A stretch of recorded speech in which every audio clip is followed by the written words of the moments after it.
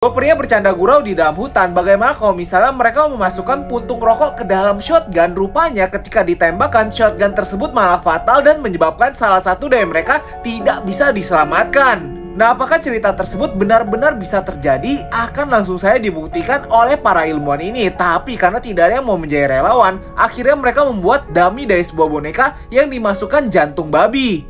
Nah setelah semua persiapan sudah siap, mereka langsung saja menembakkan senjata tersebut dan rupanya di dalam percobaan yang pertama tidak terjadi efek apa pun. Ahli senjata pun berpendapat di dalam percobaan yang pertama, puntung rokoknya itu tidak cukup padat sehingga menyebabkan efeknya tidak terlalu kuat. Di dalam percobaan yang kedua, kali puntung rokoknya itu berhasil menembus bagian terluar dari kulit di dadanya karena mereka itu memasukkannya cukup kuat. Dan di dalam percobaan yang ketiga, sangat mengerikan sekali. Kali ini jaraknya diperpendek dan benar saja puntung rokok tersebut tembus dari dada boneka ini.